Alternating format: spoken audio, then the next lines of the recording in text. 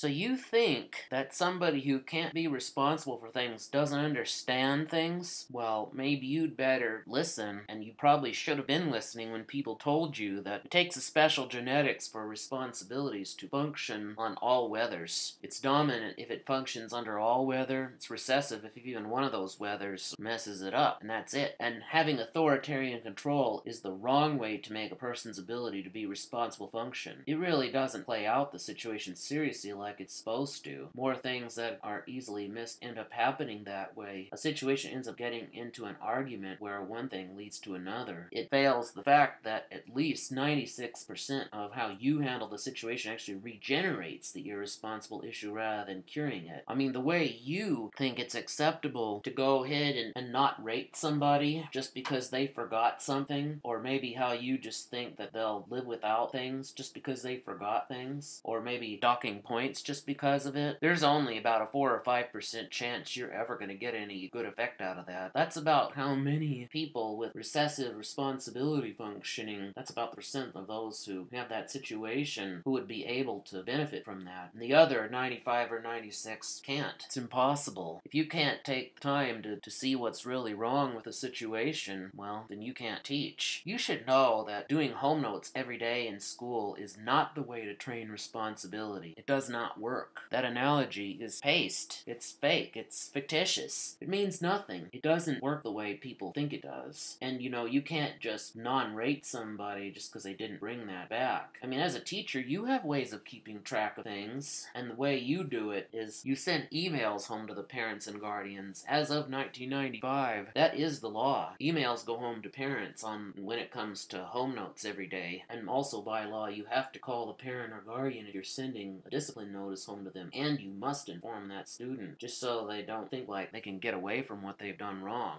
You also need to keep in mind that you need to be careful how you use your point system. It's not going to do any good. Any coping skills program that thinks they have a right to make someone go hungry for an activity just because they forgot things intentionally, that's not okay. I mean, there are things that do get in the way of people's ability to be responsible. I mean, I know there's lots of different ways and everybody's is different, but that doesn't mean you have a right to use authoritarian control, and that's that. If you do, people get testy and either slams their hand on the table or cuss at you and you end up hurt. They actually have a court order to do that when you have authoritarian control against them over being responsible. Police and the prosecuting attorneys end up getting involved. And there's little or no way to be convincing with them. You could end up getting a high audiology bill in the mail that you'll end up having to pay for that other person's year-long resolution plan to heal all that authoritarian control bulk. And that leads down into the hall of shame with this person's in black and white stripes, as you can see. Now, if we do take the time to realize that whatever affects people's ability to be responsible is part of their genetics and requires neural physiology to repair it, well, it plays out the situation seriously like it's supposed to. Less things that are easily missed end up happening that way. You don't have to miss things so much, in other words. And situations remain in the calm zone where they're not as likely to blow and get argumentative, and one thing never leads to another half as much. And it accelerates the probability of being able to make sure the people become responsible with their own situations. Nobody will have any need to be tested. Police and prosecuting attorneys don't have to get involved with little or no way that the person